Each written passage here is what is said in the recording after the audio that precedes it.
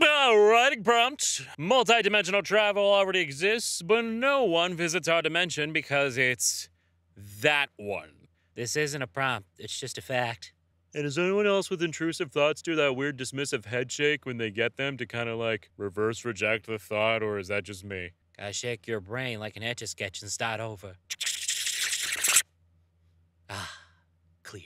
Oh, to be a small mouse in a pastoral children's novel who lives in a hollowed out tree stump and does nothing but collect dewdrops and sweep the doorstep with a feather. And carve one strawberry into slices like it's a ham. You! You get it. You think that's a denim jacket? Surely you jest. That punchline hit me like a sack of wet mice. It, hey, like what? No offense to the people of Texas, but if there's a big red button that says destroy Texas on it, I might, I may. I would. It took my new cat a while to realize that kissing the top of her head was a gesture of affection, but I think she's finally got it. The downside is that now she thinks the best way to signal that she wants cuddles is to come charging at me and mash the top of her head against my face. It's like a very affectionate punch in the mouth. And yet here you are, talking about it like it's a problem. I love Tumblr because sometimes I get an urge to read blog posts about something nobody likes and everyone just politely ignores me. Everyone's like, oh, he's fallen into madness again. He'll be fine later, I guess. World builders naming towns. I named this town Illigwemeth, which means where the dearly beloved king died next to his lover. And the language I invented, and also a combination of the Old English word for diamonds and the Maori word for apples, since that's their main export. People in real life naming towns. I named this town Big Falls because Big Fall there.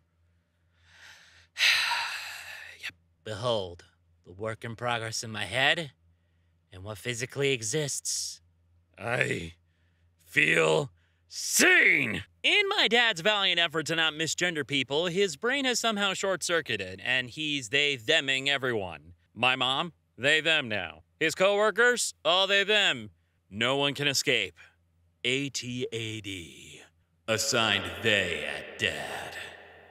Writing prompt. A barbarian warlord, a goblin king, a mighty necromancer, and a dark elven high priestess meet for one reason to play suburbs and SUVs, the hottest mundane suburban family tabletop RPG. Can I roll to have a meltdown in the middle of the PTA bake sale? Why?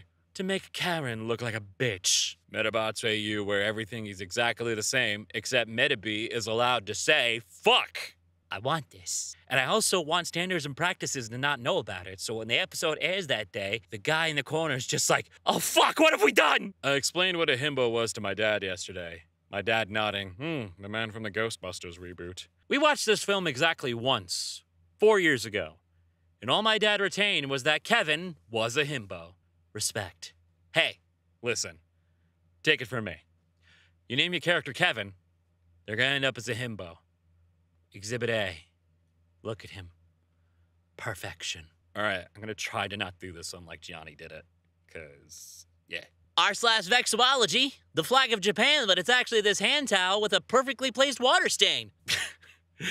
oh shit, I just peed on my towel accidentally. Better turn this into clout. It was a water stain! I had an ice pack and it leaked onto the towel! I didn't fucking pee on it! Oh, you peed on it. You peed on it, didn't you, you little piss boy?